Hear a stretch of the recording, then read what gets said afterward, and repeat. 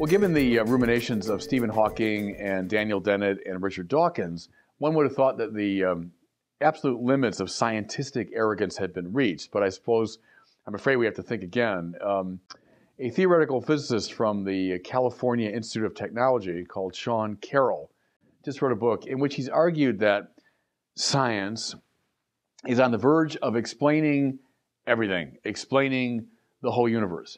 Now, as is usually the case with this kind of scientific uh, claim, the target is God. They want to eliminate God from the conversation. But before getting to the God question, let me just make an observation. Though the sciences might be able to understand the chemical compounds that make up, you know, paper and ink, the sciences will never understand the meaning of a book.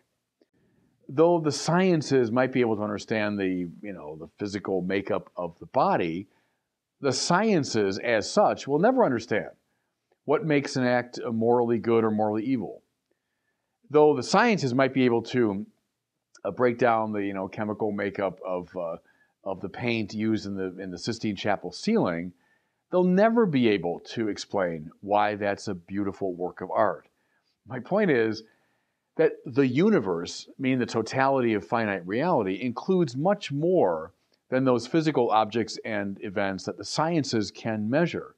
They include such things as truth, as meaning, as value, as goodness, as beauty. They're as much a part of the universe as physical objects and events. So, first of all, you've got this incredible arrogance about what the sciences can accomplish. It's not because they're relatively underdeveloped, which is why they can't understand the things I was describing. It's because those are qualitatively different types of reality. And the scientific method simply doesn't reach to that level. But as I said, these scientific formulations are usually uh, designed to attack God, to get rid of this, you know, hopelessly antiquarian notion of God. Now, uh, Carroll's argument takes the form really of Laplace's famous argument. He's the guy back in the uh, early 19th century who responded to Napoleon when the emperor famously said, well, where does where does God fit into your astronomical calculations? And Laplace said, I have no need of that hypothesis. My point there is the Laplacian thing assumes that God is one fussy cause among many.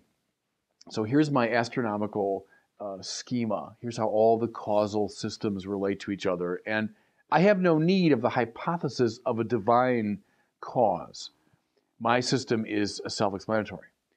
The fundamental problem with both Laplace and Carroll is they don't understand what serious biblical people mean when they use the word God.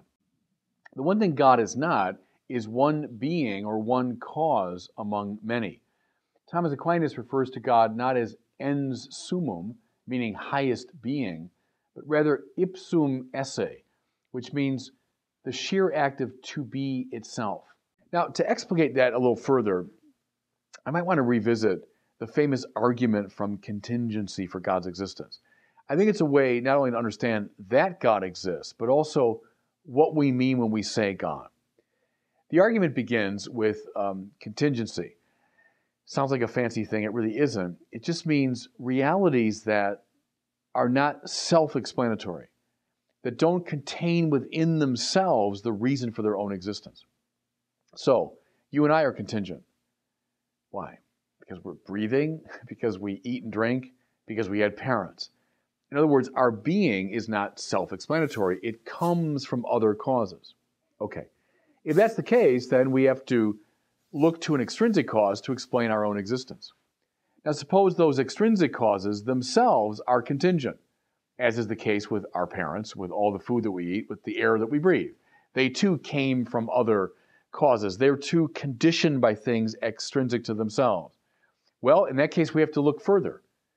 Well, this process of appealing to contingent causes, trying to explain my contingency, cannot go on indefinitely. Why?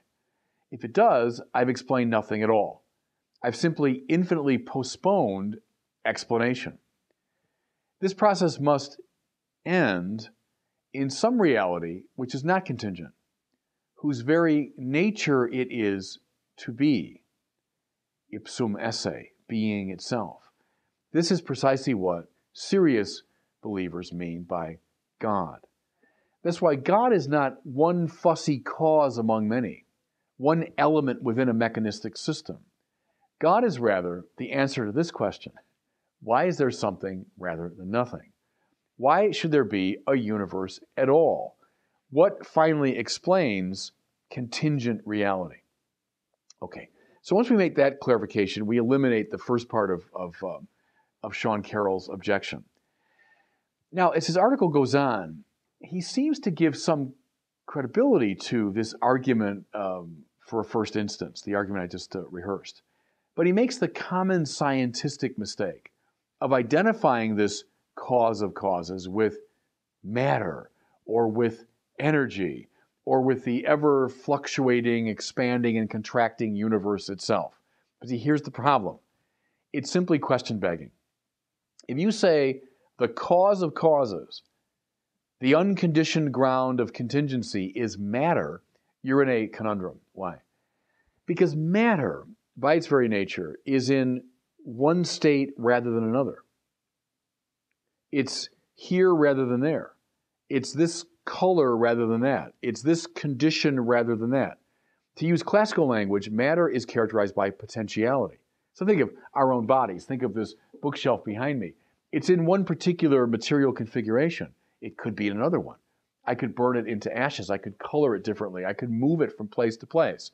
The point there is we have to explain, therefore, why it's in this configuration. It's not self explanatorily in this configuration. I have to ex- appeal to an extrinsic cause. The same is true of energy. That's a more contemporary term. The same problem.